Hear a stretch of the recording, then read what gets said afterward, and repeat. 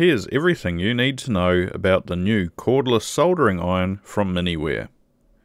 For soldering circuit boards, the typical runtime is about 7 minutes per charge. However, if you return the iron to the station between soldering batches of components, you'll be hard pressed to run out of power. It packs quite a punch being able to tin heavy gauge cable with ease. Just keep in mind that heavy duty soldering will quickly drain the power. Recharging from empty takes around 5 minutes, so it's better to regularly top up the iron to reduce or eliminate downtime.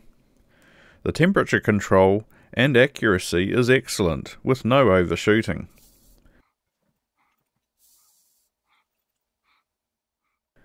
Although the iron might seem bulky compared to irons like the TS80P, due to the ergonomic shape and weight distribution, it feels easy to hold and is relatively lightweight at only 75 grams. The charging station connects to the iron via Bluetooth, and you can tune the iron settings to your heart's content. Overall, I would recommend this iron for light to medium soldering jobs. It's particularly great for assembling PCBs or working in spaces where cords are a hazard.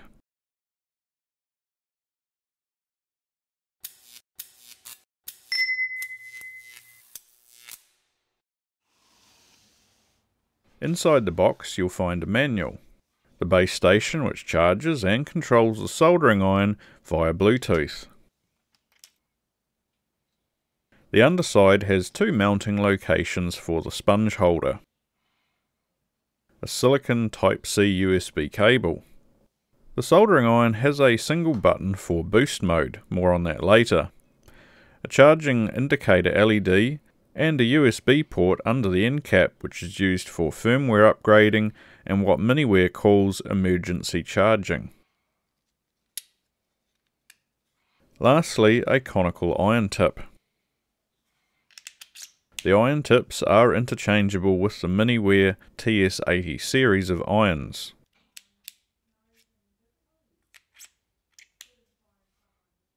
The iron weighs 75 grams or 2.6 ounces. The body of the iron is plastic and comparing it next to the TS80P, the iron looks big and bulky. However, Miniware have designed the iron to be ergonomic in the hand, which keeps the iron feeling light and easy to hold.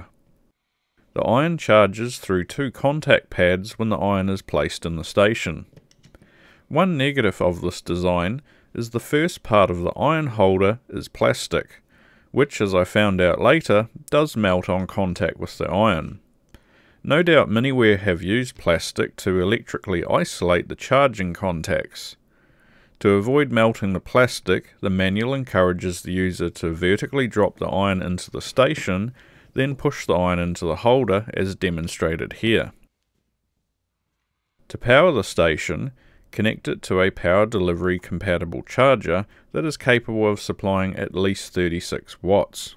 On camera, the screen appears to flicker, however in person the screen refresh rate is smooth and bright. In settings, you can program the working, preheat and sleep temperatures, sleep time, idle time, temperature units, temp step, and backlight brightness.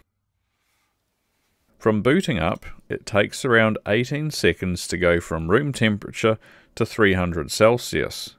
However, that time also includes the time it takes the station and iron to connect via Bluetooth.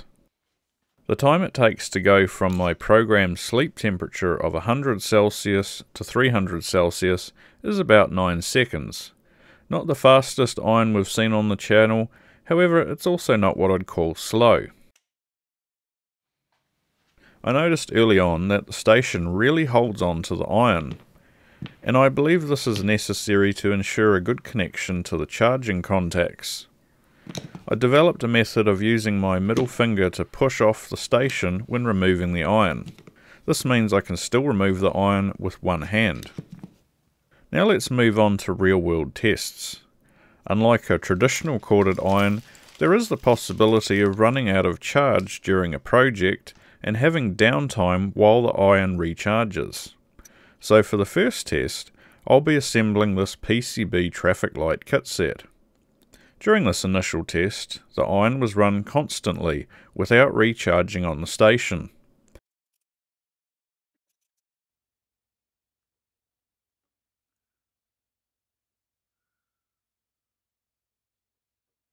The total runtime was over 7 minutes before I got the low power warning.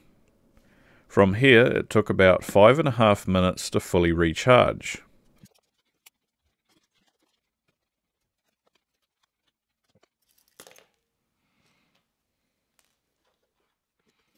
For the final part of assembly, I used the iron in a more traditional way, installing a few components, soldering them, and then returning the iron to the station.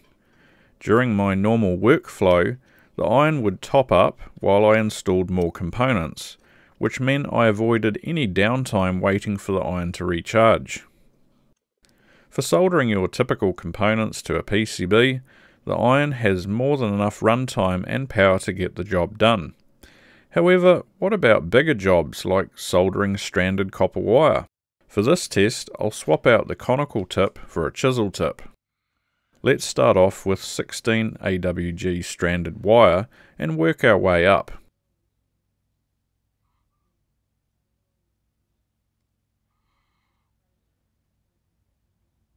Unsurprisingly, it has more than enough power to solder this wire. However, let's see how quickly the power drains soldering a 300mm length of 16 AWG wire. For this test, I set the iron temperature at 350 Celsius, and after soldering the entire length, the charge was down to around 50%. Not bad. Next, I tried soldering 12 AWG wire, which it did with ease. And much to my surprise, it managed to solder 8 AWG wire with relative ease while using the boost button to get up to 400C. Although do keep in mind that soldering heavy cables quickly drains power I'd say this iron is best suited for light soldering applications like PCB assembly or repairs. Having said that, it's safe to say that this iron packs quite a punch for its size, but what about temperature accuracy? I'll be using my Hakko meter to measure the iron tip temperature. With the iron set to 300C, the tip temperature is pretty much perfect at 299. Increasing the temperature to 400, the tip temperature is just shy of the mark, peaking at 396. Next, I performed the dreaded wet sponge test. This test is useful for detecting poor PID tuning which can cause temperature overshoots. However, there is no temperature overshoots here, with the iron quickly recovering to the set temperature without overshooting. Before we wrap up the review, let's open the iron and take a look inside.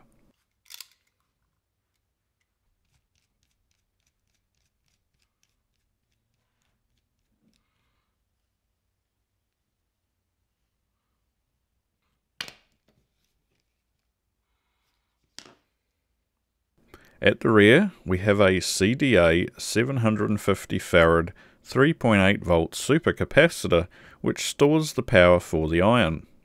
The charging pads connect to a ribbon type cable with SMD components on it. I'm sure this isn't anything new, however it's something I haven't seen before. Other than that, there's not really anything of particular interest going on here. In conclusion, I have used several other cordless soldering irons including butane, battery and capacitor powered, and they are all terrible for one reason or another. However, this is the first cordless soldering iron I would actually recommend to buy, assuming you need a cordless soldering iron. And if you want to purchase a Miniware TS1C iron and you'd like to support my channel, then I'd be very grateful if you use the affiliate links in the video's description. Thanks for watching, and I'll see you in the next video.